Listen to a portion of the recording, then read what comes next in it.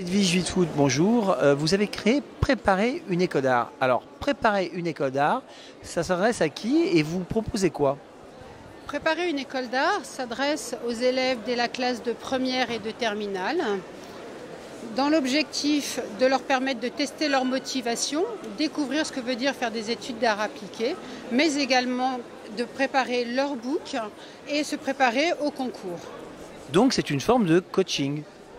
C'est un coaching semi-collectif dans la mesure où nous avons des cours euh, collectifs de 10 à 20 personnes avec un accompagnement individualisé puisque chacun sait que pour entrer dans ces écoles-là, ils seront jugés sur leur savoir-faire, conditions relatives nécessaires mais pas suffisantes, sur leur singularité et leur potentiel de créativité et également ce que je m'amuse à appeler communément la tête bien faite.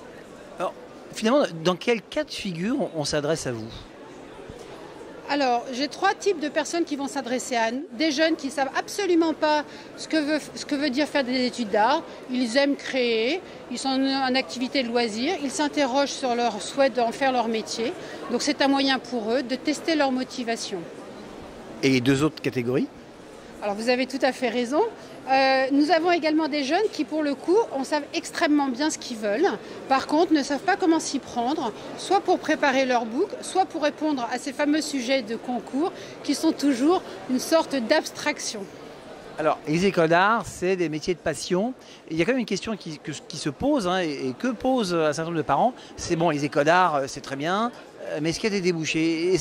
Est-ce que ça recrute? Est-ce qu'à la fin des études, qui sont parfois onéreuses et longues, est-ce qu'on va trouver euh, un emploi? Excellente question et tout à fait justifiée. En effet, la créativité, on le sait, à l'heure actuelle, rentre vraiment au cœur de l'entreprise. Autrefois, je m'amuse à dire régulièrement, nous les créas, nous étions au fin fond du couloir et on était une sorte de nébuleuse. À l'heure actuelle, la créativité nous, préoccupe tous les jours et par conséquent, un élève qui est bien préparé, ayant un savoir-faire, mais étant resté aussi collé à la vie active de l'entreprise et à l'actualité du monde, a toutes ses chances d'intégrer, de trouver le, travail qu'il souhaite. Et Foot, merci.